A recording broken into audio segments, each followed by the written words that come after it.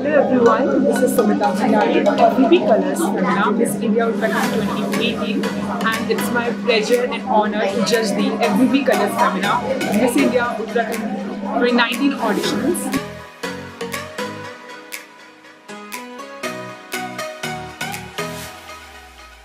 As we all know that Uttarakhand is the land of God, so that purity of heart is what we can see in the girls of Uttarakhand. So this sets them apart from the other states.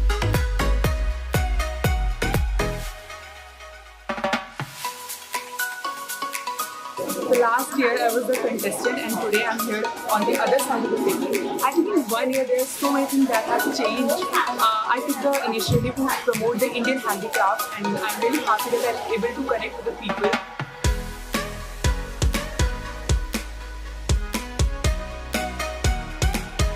Because the three qualities that I want to see in my successor is the first and the important thing is just be herself and that poise and grace should be there. And the third thing is the confidence.